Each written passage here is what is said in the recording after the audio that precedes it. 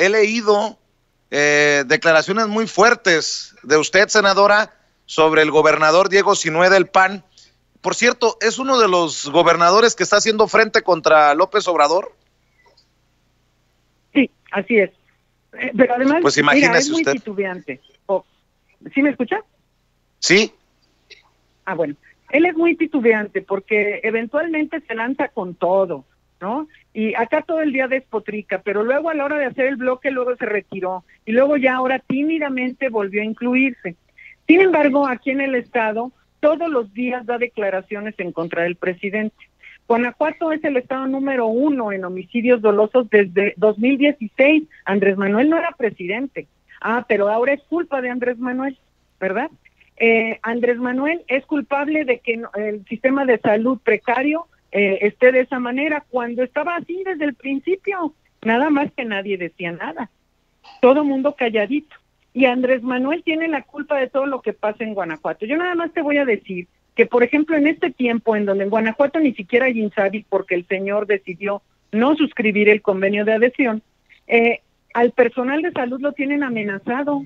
El personal de salud no tiene el equipo de protección personal y, el, y además lo tienen amenazado. El que se atreve a alzar la voz lo despiden, han estado despidiendo personal de salud cuando más se les necesita en plena pandemia por pedir un equipo de protección personal o por expresar su opinión en Facebook, los tienen espiados. Eso es autoritarismo, no es el decirles la verdad, sino el autoritarismo es tratar de silenciar a todas y a todos. He, tenido eh, acceso a información de muchos, de muchas trabajadoras y trabajadores de la salud a los que han despedido o que tienen amenazados con hacerlo si siguen eh, pidiendo lo que les corresponde eh, de equipo de protección personal o si levantan la voz para decir, hablar de su inconformidad respecto a lo que está sucediendo.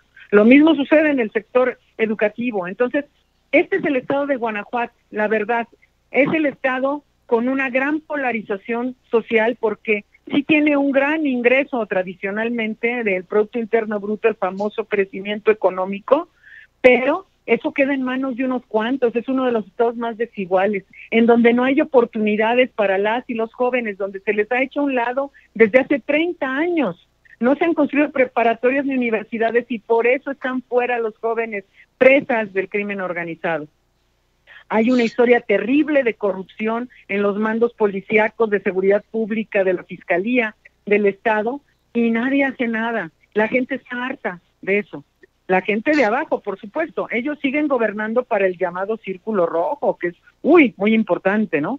Entonces hace el gobernador talk shows para presumir que va a, rescatar económicamente a Guanajuato y pone a su vocero, Vicente, indignante, pone al presidente del Consejo Coordinador Empresarial de León a anunciar en su talk show de gobierno, a anunciar que se va a solicitar otro préstamo de 5 mil millones de pesos, además de los 5 mil 350 que ya pidió, para reactivar la economía y además que se va a aumentar el impuesto a las nóminas a las empresas guanajuatenses. Eso lo hizo el Consejo Coordinador Empresarial en el talk show del gobernador. Entonces ya es el descaro completo de para quién se gobierna en Guanajuato, a quién se atiende y a quién no están utilizando ese recurso que solicitaron prestado en los programas sociales, un programa de empleo temporal. Tenemos las evidencias de que están aceitando su maquinaria electoral, les están dando el dinero a sus estructuras y la gente mientras viendo a ver de qué sobrevive. Es muy grave lo que pasa en Guanajuato y así se ve. O sea, la manifestación que se ve hacia el resto del país es la violencia inaudita, pero hay muchas otras cosas que suceden acá en Guanajuato. Oiga, estaba